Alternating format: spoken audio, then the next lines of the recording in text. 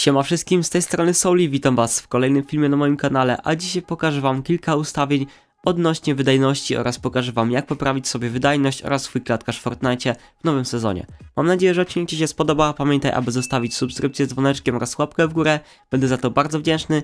Jeżeli już to zrobiliście, to przypominam także o moim kodzie w sklepie, czyli Soli, także jeżeli wam pomogłem, pamiętajcie o tym, jest to bardzo duże dla mnie wsparcie, więc jeżeli to zrobiliście, bardzo dziękuję, a już nie przedłużam i zapraszam was do oglądania. Więc pierwsze co sobie dzisiaj zrobimy, to wchodzimy sobie do ustawień i od razu powiem wam, żebyście ustawili sobie tryb wydajności, ponieważ jest on najlepszy, jeżeli chodzi o wydajność waszej gry i po prostu nie zmieniajcie na inne, bo tam będzie najlepszy i najlepszy klatkarz będzie właśnie na tym trybie.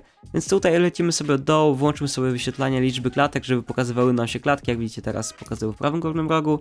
Klikamy sobie z powrotem ustawienia i dobra, teraz jakość modeli zostawiamy na wysoką, ponieważ Fortnite po prostu zepsuł to i teraz musi to naprawić w najnowszej aktualizacji.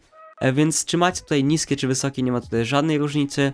Następnie mamy dwie nowe właściwości, dwa nowe ustawienia, które musimy sobie zmienić, bo naprawdę bardzo wpływają na, wasze, naszą, na waszą wydajność. Więc co musicie zrobić, to od razu po prostu wyłączmy sobie te dwie rzeczy, ponieważ no, one po prostu nie działają, a jak działają, to obciążają waszą kartę graficzną, przez co macie mniejszy klatkacz, no po prostu bez większego tłumaczenia po prostu to wyłączcie. E, jeżeli nie chcecie włączać obu z jakiegokolwiek powodu, to po prostu możecie włączyć tylko górne, bo to dolne wam będzie tylko i wyłącznie przypominać o tym, żebyście włączyli te wysokie z powrotem, ale to po prostu nam nie jest potrzebne.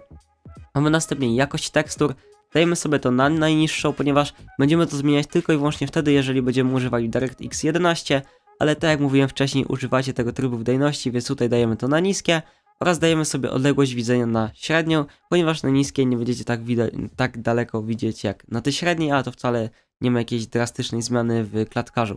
Lecimy sobie do góry i teraz chciałbym powiedzieć o tym, co bardzo dużo ludzi o tym nie wie, że na trybie wydajności tryb daltonistu dla daltonistów po prostu nie działa. Mogę wam to pokazać. Jak widzicie, moja gra na czysto wygląda tak.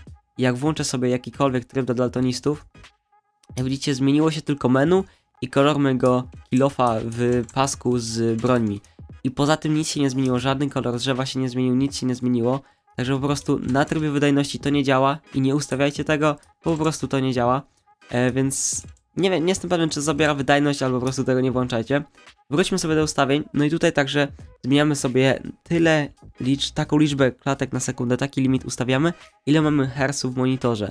Jeżeli nie wiecie jak to sprawdzić, to musicie prawym, yy, prawym przyciskiem myszy kliknąć na pulpicie i tam macie właściwości ekranu i tam wszystko będzie yy, pokazane. E, dobra, więc przechodzimy sobie dalej do ustawień i zjeżdżamy sobie tutaj w tej zębatce na sam dół, tutaj nic was wyżej nie interesuje i wyłączamy powtórki, ponieważ jeżeli tego nie wyłączycie, to naprawdę strasznie dużo FPS-ów będzie to, wam to zabierać, a jeżeli to używacie, to po prostu musicie to przeboleć. E, no i z takich ustawień wydajnościowych to było na wszystko właśnie w Fortnite, więc teraz przejdziemy sobie do pulpitu na pulpit i tam wam pokażę jeszcze kilka ciekawych rzeczy, które możecie sobie ustawić. Ok, jesteśmy już na pulpicie, więc co musimy teraz zrobić, to odpalamy Epic Games Launcher. No i teraz wchodzimy sobie do biblioteki i klikamy na te trzy paski, żeby nam lepiej, mieliśmy po prostu, żebyśmy lepiej widzieli, gdzie jest Fortnite. No i klikamy sobie tutaj trzy kreski przy Fortnite i klikamy sobie opcje. I teraz uwaga, możecie mieć teraz włączone tekstury wysokiej wydajności i od razu polecam wam to wywalić. Dlaczego? Ponieważ jeżeli macie to włączone, będzie to drastycznie, no jak widzicie 7 GB dysku wam to zabierze jeżeli zależy wam na wysokim i dobrym klatkarzu, to po prostu to wywalcie, bo to nie będzie wam potrzebne i polecam po prostu wywalić, oznaczyć, kliknąć zastosuj i będzie gotowe. Następna rzecz, którą polecam wam zrobić, to kliknąć sobie prawem i kliknąć zweryfikuj. Jeżeli zweryfikujecie pliki, to mo może, może być taka możliwość, że e, mieliście jakieś pliki, które były źle pobrane, bądź coś w tym stylu i po prostu to może Wam także pomóc w wydajności. No i jeżeli już to zrobiliście, to możemy sobie jeszcze wejść do ustawień karty graficznej. W tym celu klikamy sobie pokaż więcej opcji, jeżeli macie Windowsa 11 i klikamy sobie panel sterowania Nvidia. I od razu mówię, że pokazuję to tylko dla Nvidia, ponieważ nigdy nie miałem karty Radeona i wam tego nie pokażę. Dobra, ja mam jeden monitor na razie, drugi mi się niestety spalił. No i co robimy, to klikamy sobie w ust ustawienia obrazu korzystając i klikamy sobie zastosuj preferencje użytkownika, dajemy to nazwę wydajność, dajemy zastosuj. Teraz klikamy sobie to, z powrotem, zastosuj i przechodzimy do drugiej zakładki od góry. I tutaj musimy sobie dać filtrowanie tekstur jakość, ustawić na wysoką wydajność, tak jak ja ustawiłem. I jeszcze tutaj jest jedna, e, jedna właściwość, w tym miejscu tryb zarządzania energią i dajemy sobie preferuj maksymalną wydajność. Także to Wam może pomóc w klatkarzu. To nie, nie jest jakaś duża różnica, 5-10 klatek, ale zawsze to coś. I jeszcze jest jedna rzecz, o której chcę powiedzieć, czyli jest to, jeżeli wpiszemy sobie experience, jeżeli tego nie macie, to musicie sobie to pobrać, wystarczy, że przepiszecie tą nazwę w internet i ją pobierzecie.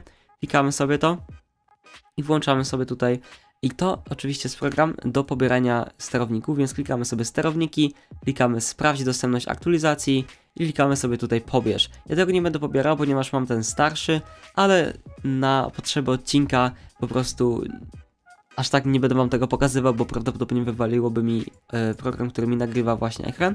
Ale po prostu klikamy sobie tutaj pobierz i instalacja ekspresowa. Ja tego nie będę robił, bo tak jak mówię wcześniej, wywaliło mi to. Wywali mi cały program. E, także to było na tyle dzisiejszego filmu. Mam nadzieję, że Wam pomogłem. E, jeżeli macie jeszcze jakiekolwiek problemy, to piszcie do mnie na Discordzie. Będzie oczywiście link do Discorda w opisie. Dzisiejszego filmu to by było na tyle. Mam nadzieję, że Wam się spodobało i widzimy się w kolejnych odcinkach. Siemano!